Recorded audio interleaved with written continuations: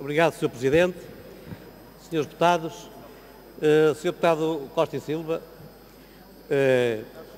o, Carlos Silva, perdão, Carlos Silva, peço desculpa, o atual governo, o atual governo, ao fim de seis meses, confrontado com uh, o problema da turbulência do setor do táxi, causado pelo aparecimento em 2014 da empresa Uber, a desempenhar a atividade ilegal no setor do táxi, já tomou as seguintes medidas.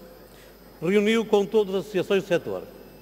Apresentou um pacote de medidas, que aqui foi hoje referido, para a modernização do setor do táxi com 17 milhões de euros em causa, para ser, poder ser investidos no melhoramento deste serviço.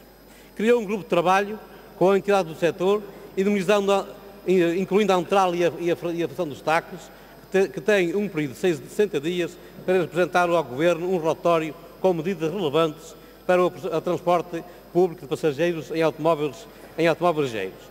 Sr. Deputado Costa Silva, neste quadro, não acha que o, o Governo que o Sr. Deputado apoiou recentemente, no, aliás, como agora acaba de dizer, que uh, entende que este problema deve ser enquadrado, deve ser enquadrado, deve ser enquadrado na, no, no Regulamento Geral do setor dos táxis, não acha que o seu, o seu governo andou ano e meio a, a, adiar uma solução que o seu próprio traz aqui hoje como solução, como sugestão, empurrando o problema, como já aqui foi dito, com a barriga, você sim, durante ano e meio, sem o ter resolvido?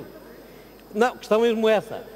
Quando acusam o Partido Socialista ao fim de seis meses não ter resolvido um problema que vem de trás, pelo menos, pelo menos desde 2014, como é que isso é possível perante um governo que esteve ano e meio sem ter feito nada, absolutamente nada, tampouco reuniu com o setor eh, em, em questão.